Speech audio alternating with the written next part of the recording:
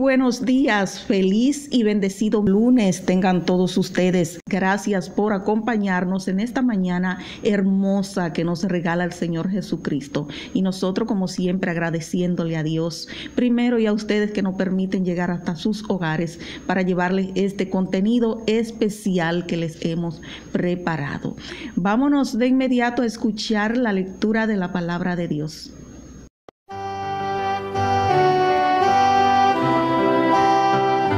Evangelio de hoy. La epístola del apóstol San Pablo a los Efesios, capítulo 6. Hijos, obedeced en el Señor a vuestros padres, porque esto es justo.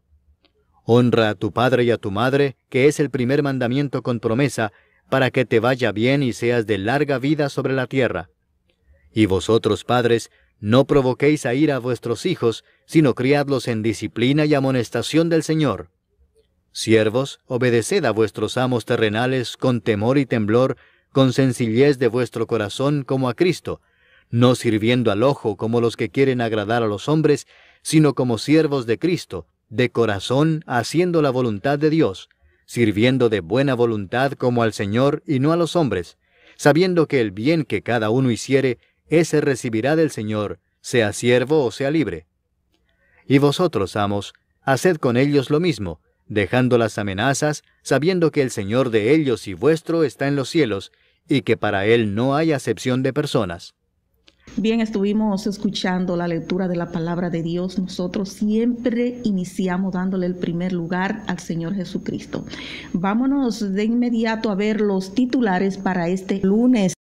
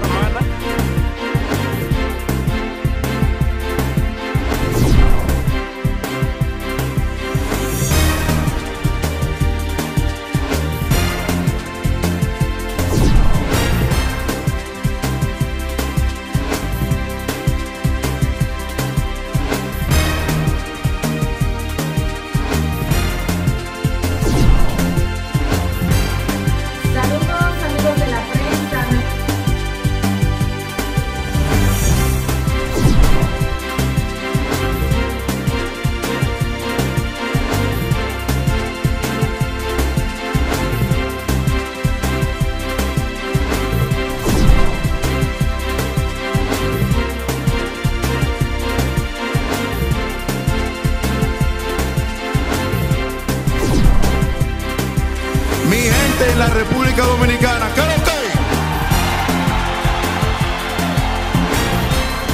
La República Dominicana, mi tierra, wow.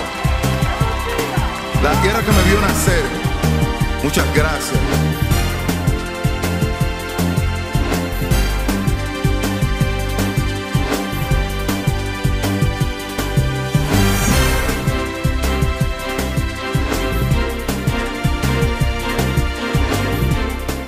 Y así comienza la semana.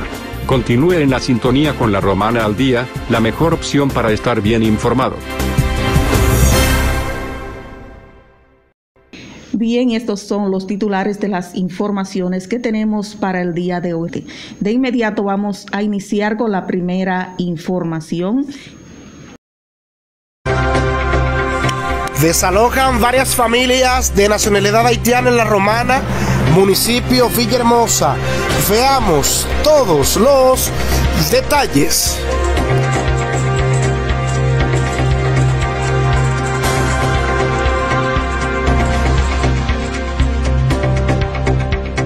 ¿Qué pasó aquí en el día de hoy? No, yo vengo ahora mismo de trabajar, no sé, no. ¿Tiene a casa ahí? ¿Eh? ¿Tenía tratos ahí? Son familia mía que saben. ¿Y qué fue lo que pasó exactamente? ¿Quién, desalojó? ¿Quién desalojó? Dicen que fiscal y policía, usted sabe. ¿No estaban pagando? Eh, así era, se mudaban, no podían pagar. ¿Cuántas personas viven ahí? Aquí, aquí adelante nomás veo como tres viviendas. Bien, ¿tu nombre? Alejandro, la Sosa Muchas gracias. Bien, salud hermano. La situación en el día de hoy aquí en el lugar. Buenos días, buenas tardes, comando. Mi comando se llama Silven, pero yo vivía ahí alquilado. Yo Pero yo salí por la mañana cuando yo venga, yo vi todo mi cosa afuera. Y yo tengo 42 mil pesos allá adentro, pero abajo mi, mi, mi, mi, mi frisa, pero yo no lo vi. Yo estaba buscando, todavía estoy aquí, mi cosa está afuera. Yo no tengo a dónde yo puedo vivir. Yo no tengo a dónde yo al dormir. Mira, yo tengo hijos ahí, yo tengo todas las cosas ahí, pero yo tengo seis años aquí. Ah, yo estaba esperando el dueño para decirme una cosa, lo que, que él dice, pero yo no lo vi. ¿Tú estabas pagando la casa? Yo pagando la casa 2.500 pesos mensual. Bien. Yo tengo seis años aquí. A dueño, pero ese hace sin, sin dueño, pero ahora yo estoy esperando el dueño para decirme cómo, pero yo entrar con permiso, yo tengo que salir con permiso. Yo soy. yo ¿Su soy- nombre? Se llama Silven, exeno. Muchas gracias.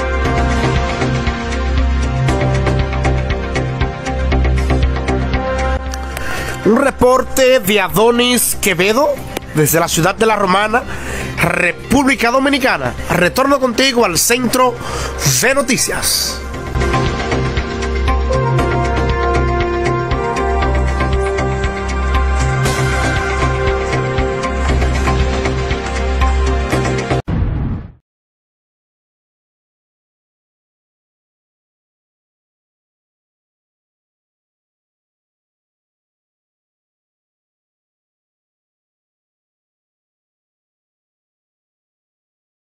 ¿Salió César libre ya, eh, Yalagá? Eh, tiene una garantía económica. Saludos, primero sa- saludos, buenas tardes. Eh, sí, hemos estado aquí presentes apoyando al amigo, el hermano, y como dice la ley de Dios, los amigos se conocen en los hospitales y en la cárcel. Y aquí es que nosotros tenemos que estar, donde un amigo está y creemos que, que debemos estar, ahí estamos. Fuimos garantes de, de nuestro amigo César Préstamo. Gracias al Señor se, se se hizo la, la causa que la querían proponer y se le dio una garantía económica. No se veían todos los detalles porque ustedes saben, eso es- no, se le dio una garantía económica en efectivo. Eh, no sé la cantidad todavía. Recuerda que todos salimos para afuera cuando el juez va a dar ya la definición. Pero lo importante es que un amigo ya está afuera. Estas son una clase de cosas que pasan a cada rato, están pasando, porque hay, digo yo la palabra, mucha maldad y muchas cosas. En, en- en- en lo que nos estamos eh, eh, relacionando, hablando de eso, de respeto a las menores. Yo mismo como hombre ya mayor doy un consejo. Mire bien donde usted va. Porque ya eso es un negocio. Y todo el mundo está claro de eso. Y el que no está bien con su mente puesta y derecho, caminando derecho, le puede pasar lo mismo que le pasó a él, a mí, a cualquiera. Yo digo caminó, dicen que uno puede subir para arriba, pero yo digo caminó. Hasta este momento. no Hasta este momento. ¿Me entiendes lo que te quiero decir? Entonces, gracias a Dios, ya un hombre que aparte de eso le afectó bastante estar ahí dentro, recluido de, de su libertad y está muy mal de salud. Hay que operarlo de un problema que allá mismo le sucedió. Se le salió un hierro que tenía ahí en una operación, el azúcar lo está acabando. Todo el mundo sabe lo que es estar recluido en el CCR15. Eh, Yalagá, ¿cómo lo viste, los ánimos de César? César feliz, contento, llorando, porque son nueve meses y pico que tiene allá adentro. Y hay que estar ahí en, en CCR para saber si el gas pela. Sí. Él no quiso entrevista, Yalagá, no quiso. No, porque él está tan emocionado y eso tú ves, pero el pueblo tiene que saber, como mismo se habló de que él estaba preso así, tiene que saber que ya tiene una garantía económica que va para la calle. Muchas gracias, hermano querido. Gracias a ustedes. Saludos amigos de la prensa, nuestros agentes policiales dando respuesta ante los hechos delictivos y garantizando un clima de paz. Informamos que pusieron bajo arresto a un joven el cual mediante un operativo se vio con un perfil sospechoso y este trató de escapar logrando ser detenido y le ocuparon unas 318 porciones de diferentes sustancias controladas. Se trata del nombrado Brian Matos de 27 años, quien reside en el sector del hoyo. Pues como manifestamos, momento de que este eh, se detuviera, lo detuvieron y este emprendió la huida, logrando escalando una pared, dejando caer un bulto color rojo con color negro, el cual contenía en su interior sustancias ilícitas, la cantidad de 189 porciones de un vegetal presumiblemente marihuana, envuel- también en pedazos de funda de color azul, 17 porciones de un vegetal color presumiblemente marihuana, envueltos también en otra funda transparente tipo Ziploc, apareció también de color blanco, eh, conteniendo en su interior 53 porciones de un polvo presumiblemente cocaína, y también dentro de un potecito color blanco conteniendo en su interior la cantidad de 60 porciones de un material rocoso, presumiblemente crack. La cantidad también de 180 pesos en efectivo. Como ya informamos, aquí podemos compartir con ustedes imágenes de lo ocupado, las evidencias de las sustancias controladas, diferentes tipos, como ya la destacamos, un total de unas 318 porciones, el dinero también que se le ocupó a este joven gracias a esas labores preventivas, la cual queremos seguir contando con el apoyo de la ciudadanía para eficientizar las labores preventivas en esas zonas que mayor lo demanden. Pues este sujeto, este hombre, será sometido a la acción de la justicia y como ya ustedes tienen conocimiento, referido al departamento de la DNCD para los trámites legales que corresponden. Es todo lo que tenemos. Muchísimas gracias por acompañarnos. ¿Qué fue eso, hermano?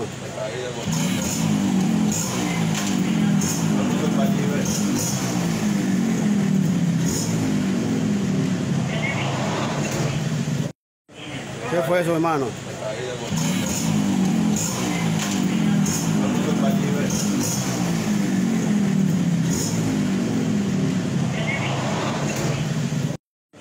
¿Qué fue eso, hermano?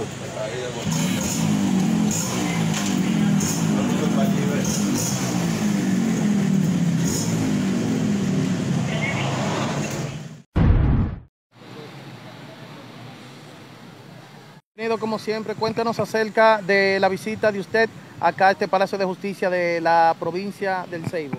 Mira, nos encontramos aquí porque hay un abogado detenido. Dice la jueza Vanessa Cecilia que Arismendi Mejía cometió un delito de audiencia, que es eh, cuando tú vociferas o dices algo eh, en la audiencia.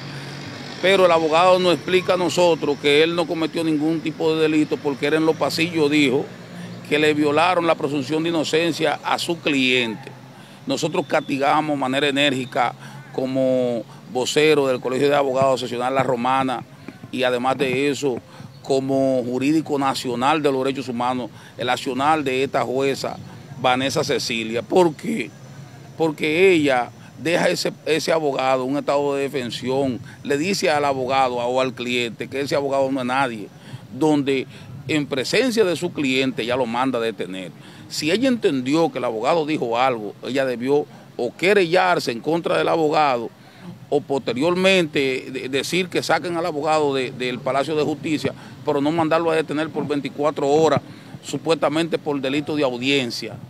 Eh, no sé si es que esa juez entiende que ella no es abogada. Pero además de eso, otra cosa que pasa aquí en la provincia del Ceibo, que debe de ser de, eh, eh, escuchado por las autoridades. Aquí en esta provincia hay una jueza que tú te encuentras con ella en permanente cuando se le conoce una medida en principio a un imputado y posteriormente si hace una revisión allá te encuentras con ella. Si ella, que es la que conoce, un, por ejemplo, una, un, un caso en principio y posteriormente tú haces una revisión del caso y te encuentras con ella nuevamente, ¿qué decisión ella va a tomar? La misma que tomó.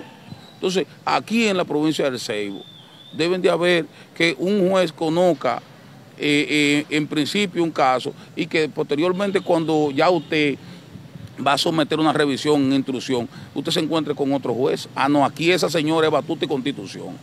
Usted como jurídico del gremio, ¿primero que pasa eso con un abogado? Así, eh, después que yo soy vocero del Colegio de Abogados la primera vez que yo veo que detienen a, un abogado, y más por 24 horas, además de eso el Ministerio Público no pudo consensuar y hablar con ese abogado que de una vez tuvo el, el, eh, eh, fiscal titular de la provincia del Ceibo, de una vez firmó la, la, se accionó en contra del abogado y firmó la orden de arresto de una vez para que lo conducieran a la Policía Nacional. ¿No ha recibido el apoyo de los abogados? ¿De dónde, eh, primeramente, ¿de dónde es el abogado? El abogado de la provincia de La Romana. Bueno, el apoyo que hemos recibido de este colega, que desde que hablamos con él, me dijo, licenciado, estamos aquí, estamos a su orden. Eh, los demás quizás tienen miedo porque quizás entienden que después la juez va a utilizar un tipo de represalia, pero le agradecemos, doctor, que por lo menos usted ha estado aquí con nosotros. Doctor, ¿su nombre? Mi nombre es el licenciado Juan Ramón Álvarez. Cuéntenos acerca, Eh, usted es del Seibo, ¿verdad? Somos del Seibo. Eh, Nosotros nos hemos enterado por medio de un grupo que hay un abogado detenido y como abogado entendemos que debemos de apoyarnos, apoyarnos unos al otro, pero más aún, eh, según las circunstancias que me dice el abogado, que yo no estaba ahí, que el abogado lo que dijo que se habían violen- violentado todos los derechos constitucionales, todos los derechos a sus- defen- de sus defendidos. Ahora, ¿qué resulta?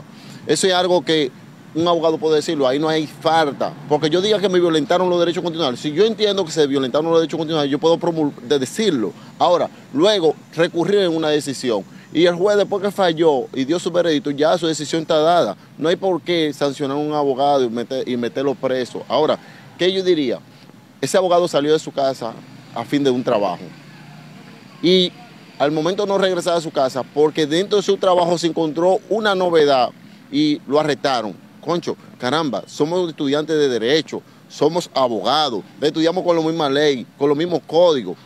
Entonces, el juez también estudió con la misma ley y el mismo código, debiera existir un respeto, pero lamentablemente nosotros no tenemos colegio de abogados. Nosotros no tenemos una unidad como tienen los jueces, que los jueces ahora mismo ¿Se los abogados de esa parte? nos sentimos indefensos porque los jueces tienen un- una asociación de jueces, para que te entiendan. Los fiscales tienen una asociación de ministerios públicos de fiscales. Y donde quiera que usted se meta un problema con un fiscal, se metió un problema con todo. Los jueces igual. Ahora, ¿qué yo digo? En verdad, da pena y vergüenza que tengamos un presidente del Colegio de Abogados Nacional, vamos a hablar del presidente, igualmente como el presidente del Colegio de Abogados de aquí, que debió estar presente, dándole su apoyo a, ese abogado y haciendo todo. Nosotros entendemos que el magistrado coordinador Gladys Gutiérrez de la Corte de Apelación, que es el juez coordinador de los jueces del Este, debe referirse a este asunto. Y creo que el doctor debe ir donde el magistrado Gladys Gutiérrez, a fin de que él mismo pueda intervenir en esta situación y no pase más, porque hoy por ese abogado y mañana por mí. Y yo no tengo miedo a ninguna repercusión, ni tampoco que se me caigan los casos, me hagan esto. No, yo no me entiendo esto. Yo sé que hay un compañero detenido y que mañana voy a estar yo detenido también. ¿Es cuánto? Licenciado Juan Ramón Álvarez. Eh, ¿Qué vamos a hacer los demás eh, colegas en esta provincia y aparte de también la romana? Nos vamos a trasladar a- a- al cuartel provincial de aquí, de la provincia del Ceibo, y posteriormente eh, vamos a ir a la corte. Vamos a coordinar porque eh, este, esto debe parar. Un abogado no puede, no puede venir a representar a su cliente y que posteriormente entonces caiga preso. Muchas gracias. A su orden.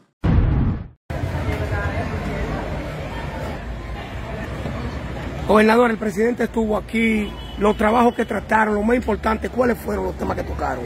Buenas tardes, Charlie. Así es, lo más importante que tratamos aquí, todos fueron importantes, pero lo que la ciudadanía llamaría tan importante, el tema de la remoción del Aristide Fiallo Cabral es una intervención completa, el tema de la puerta 8, con un conjunto de obras que vengan a descongestionar la provincia de La Romana, el tema de la zona franca, decir, una comisión para evaluar y darle seguimiento donde podríamos colocar la zona franca de Villahermosa, el tema de la UAS, ya mandó la comisión a que venga y vea la reubicación de este centro UAS La Romana, el puente de Río Salao, la intervención del mercado municipal de La Romana, entre otras tantas eh, obras importantes para nuestra provincia. ¿Qué pasaría con el mercado? Que escuché como que lo quieren quitar, lo quieren poner en un barrio. Bueno, felices de que quiten el mercado, de que hagamos otro mercado, pero mientras tanto llega la- que se construye un mercado nuevo, debemos intervenir el que tenemos, porque no tiene condiciones para brindar servicios y vender alimentos. Eso atenta contra la salud colectiva de la provincia de La Romana.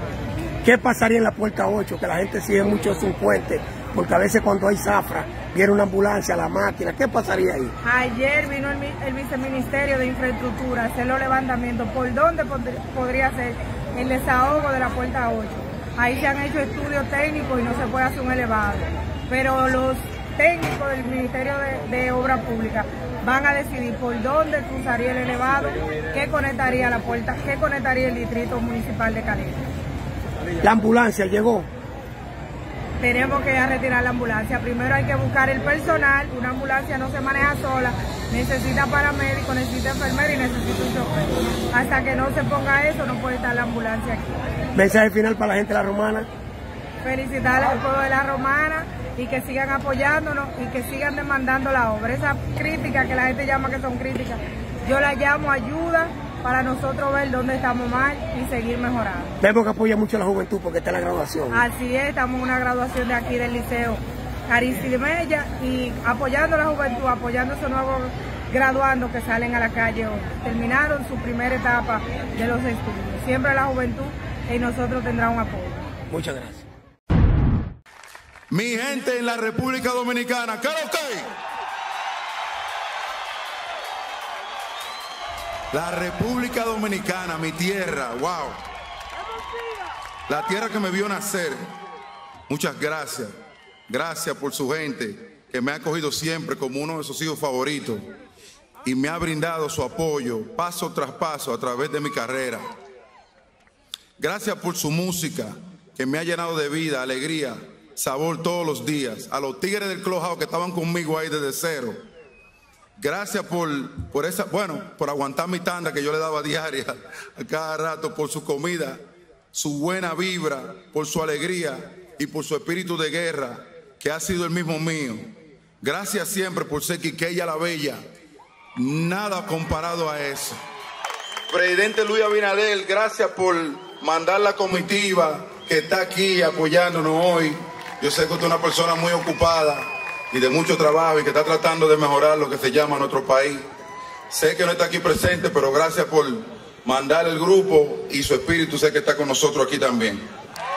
Number 45. Mi compadre Pedro.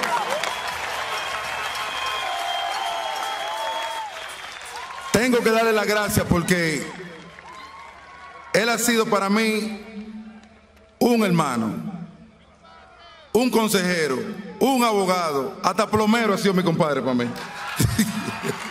mi compadre, lo amo con locura y yo me puedo pasar el día entero hablando de usted. I can talk about Pedro all day long.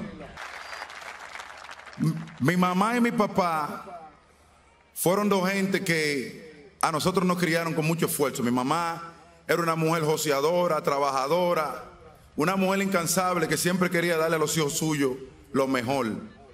Igual que papi. Papi siempre, sin poder, se fajaba con nosotros, conmigo y mis hermanas, a meter mano como sea.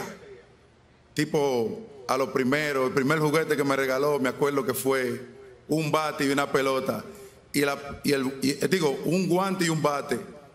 Y el guante era para uno que juegue Cioretó, ya tú sabes la vuelta. no había guante zurdo por ese tiempo. Se sacrificó mucho para darnos lo mejor y lo más importante, siempre trató de enfocarnos en lo que se llama la educación. Papi y mami salían y hacían lo imposible para que yo y mi hermana tuviéramos una vida mejor que ellos. Y eso se lo agradeceré siempre en el alma. Cada vez que daba un honrón miraba hacia el cielo.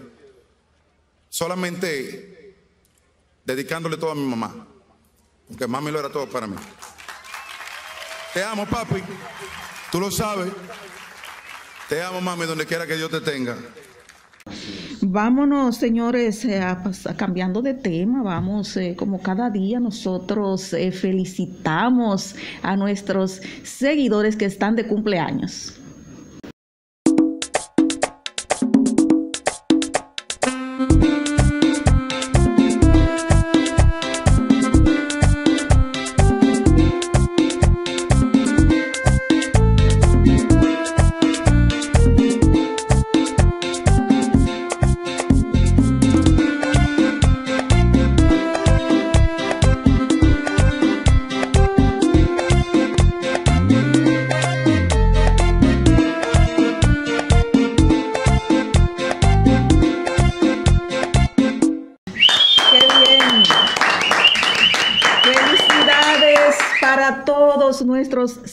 Seguidores que están de cumpleaños en el día de hoy. Hoy es un buen día para usted ir a celebrar su cumpleaños al restaurante Marlin Azul. Si está de cumpleaños, si usted tiene una actividad o simplemente desea pasarla bien, visítenos. Allá recibirá las finas atenciones de don Celestino Rijo, de Michelle y de todo el personal. Restaurante Marlin Azul. Señores, de esta forma concluimos por el día de hoy. Nosotros mañana, si Dios lo permite, estaremos de regreso en este mismo canal por todas nuestras redes sociales para llevarle a ustedes las informaciones de manera como acostumbramos siempre. Les acompañó Nancy Zorrilla y todo el equipo de la Romana al Día. Nos despedimos hasta mañana si así Dios lo permite. Bye bye.